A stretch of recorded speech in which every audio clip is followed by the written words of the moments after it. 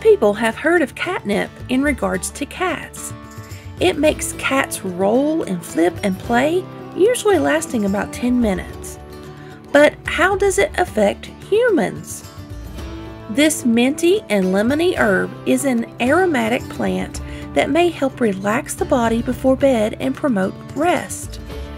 It can also help with stress relief, helping with digestion, aiding in recovering from the common cold or the flu, and aiding in skin irritation.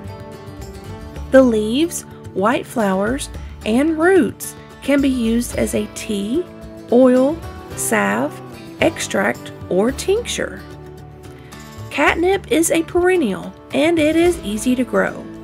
Once it's established, it will spread quickly by roots and seeds.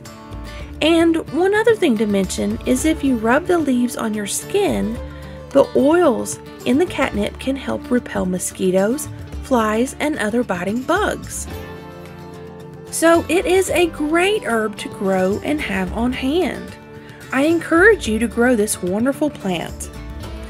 SHTF Survival Homestead Teaching Farm thanks you for watching this video. Please continue to help us help you by liking, sharing, and subscribing.